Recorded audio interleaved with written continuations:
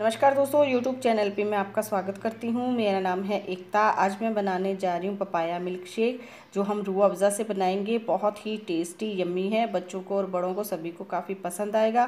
Friends, अगर आपको मेरी आज की वीडियो अच्छी लगे तो मेरी वीडियो को लाइक कीजिए, शेयर कीजिए और मेरे चैनल को सब्सक्राइब ज़रूर कीजिए।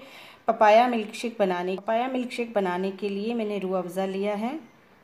एक गिलास दूध लिया है, पपीता लिया है बीस से पच्चीस पीस लिए हैं, शुगर लिया है, तीन चम्मच और आइस क्यूब लिए हैं।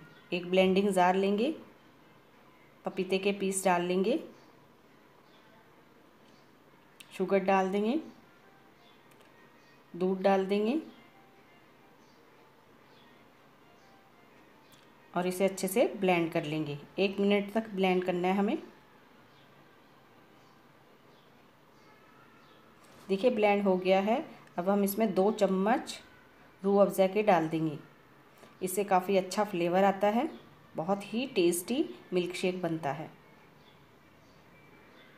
आइस क्यूब डाल देंगे और इसे वापस से ब्लेंड कर लेंगे। एक मिनट तक वापस से ब्लेंड कर लेंगे, जिससे रूह अफ़ज़ा अच्छे से मिक्स हो जाए। देखिए, अब हम ठंडा ठंडा सर्व करेंगे। एक गिलास लेंगे, उसके अंदर दो क्यूब आइस की डाल देंगे और ठंडा ठंडा पपाया मिल्क शेक डाल देंगे। बहुत ही टेस्टी यम्मी है। आप ज़रूर ट्राई करें और रू अफ़ज़ा से डेकोरेट कर देंगे। आप इसमें आइसक्रीम भी डाल सकते हैं। बहुत ही टेस्टी लगता है। एक बार आप घर में ज़रूर ट्राई करें। फ्रेंड्स हमारा पपाया मिल्क शेक तैयार हो गया है। बहुत ही टेस्टी यम्मी है। बच्चों को ज़रूर बना के पिलाएँ। बच्चों को बहुत पसंद आएगा। अगर आपको मेरी आज की रेसिपी अच्छी लगे तो मेरे वीडियो को लाइक करें शेयर करें और मेरे चैनल को सब्सक्राइब ज़रूर करें।